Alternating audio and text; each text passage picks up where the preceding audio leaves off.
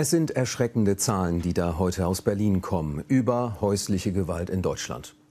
Vorgestellt von Bundesinnenministerin Nancy Faeser, Bundesfamilienministerin Lisa Paus und BKA-Präsident Holger Münch. Mehr als 240.000 Opfer häuslicher Gewalt gab es vergangenes Jahr, eine Steigerung von 8,5 Prozent.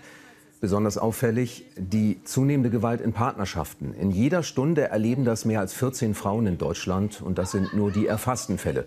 Und beinahe jeden Tag versucht ein Partner oder Ex-Partner eine Frau zu töten. Zum Thema bei uns ist Christina Erichsen-Kruse, stellvertretende Landesvorsitzende der Opferhilfeorganisation Weißering in Hamburg. Guten Abend, schön, dass Sie da sind. Guten Abend, danke. Das sind furchtbare Zahlen heute aus Berlin. Deckt sich das mit dem, was Sie in Hamburg in Ihrer Arbeit erleben? Ja, bis zu einem gewissen Grade. Wir erleben auch einen Anstieg der hilfesuchenden Frauen, wobei wir das darauf zurückführen, dass die Frauen mutiger geworden sind und ihr Anzeigeverhalten verändert haben und auch mehr Hilfe aus ihrem Umfeld haben. Mhm. Das wäre ja eigentlich schon mal eine gute Entwicklung. Mehr Anzeige, mehr Hilfe aus dem Umfeld. Positiv. Ja, auf jeden Fall. Und da versuchen wir so gut zu helfen, wie es geht. Mhm.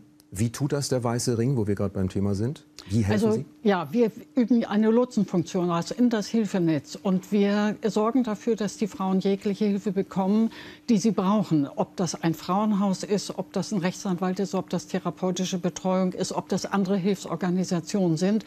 Und überall hin begleiten wir sie, auch zur Polizei.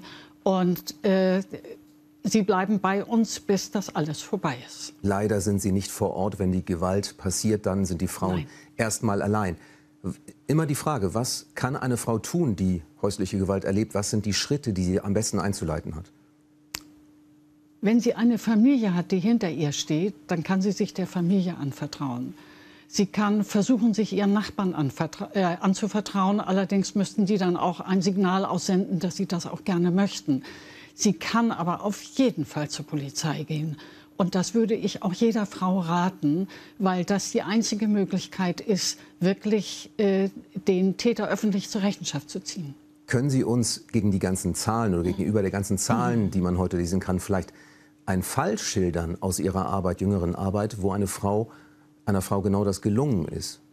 In aller Kürze, eine Arbeitsvermittlerin rief äh, bei uns an. Bei ihr saß eine junge Frau mit gepackter Tasche und hat gesagt, sie kann nicht nach Hause, ist Opfer häuslicher Gewalt. Sie hat die Polizei gerufen, die hat uns gerufen. Äh, wir haben sie abgeholt, wir haben sie an einen unbekannten Ort verbracht. Und von da aus haben wir alle weiteren Maßnahmen in die Wege geleitet, die sie brauchte, einschließlich Anwalt und so weiter. Und später haben wir ihr außerhalb von Hamburg auch eine Wohnung besorgt. Das ist ein langer Weg gewesen, Weg. aber.